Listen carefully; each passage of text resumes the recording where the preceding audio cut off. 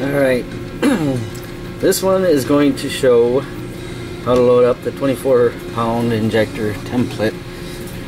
We're going to use a combination of binary editor, which I'm used to myself, and we will show the changes in uh, CalEdit, which is used with the Tweecer, which I'm not very used to myself, but I did it for someone and I figured it was worthwhile showing what we did. So what I do, I have my stock tune loaded up. And what I'm going to do, I'm going to go in and open template. So make sure all levels, okay, which it's always a good idea to go in there and make sure that they are. We'll click select all, okay. Now it's going to ask us the same thing and we'll say yes. Now, 24 pound EV1 Motorsports injector settings. This is a template. So we're going to load that up. And what it's doing is it's automatically putting in all of the settings for 24 pound injectors, which is really nice.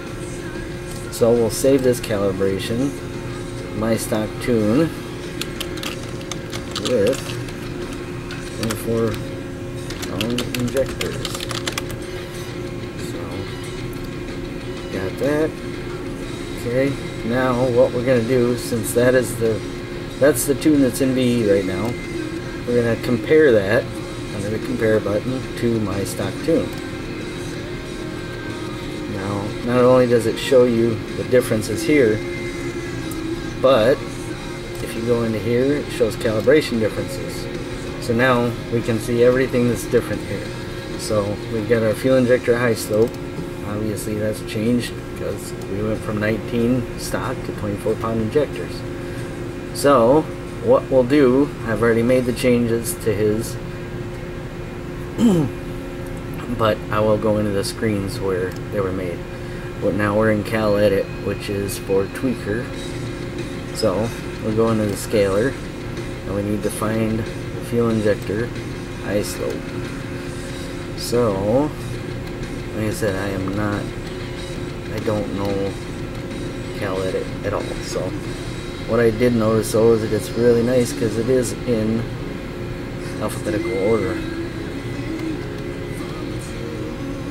Injector slope high.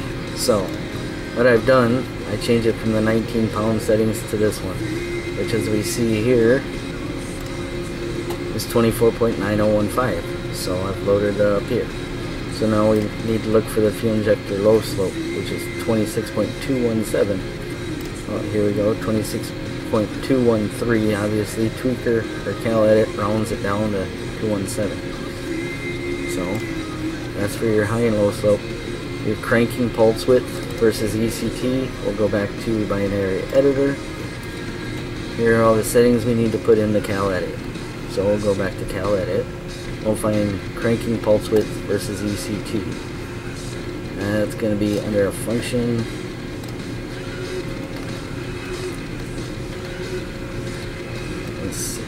Fuel, cranking pulse width versus ECT. So, like I said, I've already put them in.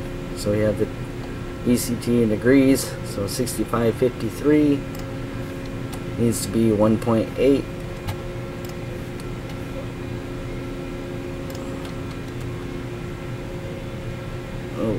There we go.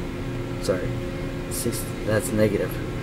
Positive 6553 to 1.8. So uh, CalEdit rounds it. 180 degrees, 1.8 also. So go in here, that's what we got. And you just follow this down. 150 degrees, 70 degrees. Make sure that all these match up. In your CalEditor. We're good to go. So we got that in there. Next thing we need to look at is the fuel injector breakpoint. So I'll go back to binary editor, use your fuel injector breakpoint. This one's really easy because it's all the same all the way through, 2.2192. So now we're going to go back into CalEdit and we're going to find the fuel injector breakpoint.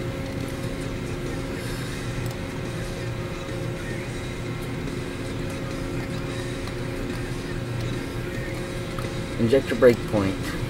And as you see, it's already 2.1992. 1918.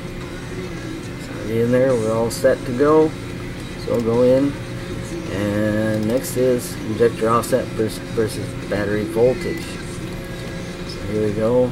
This is the row we need to put in the cal edit. So first we need to find it. Injector offset versus battery voltage and cal edit. Offset versus versus battery volt voltage is right below it. So we go into here. We got 15.9 volts, 0.4375. So let's make sure. 15.937. Yeah, 4375. Follow it down, same thing all the way. Just make this table, or the values in these columns, the same as in your cal edit. So, and that's it for the differences for 24 to 19 pound injectors. So, go in and save this and I'm not going to save it because I've already done everything but that's how you load up the 24 pound settings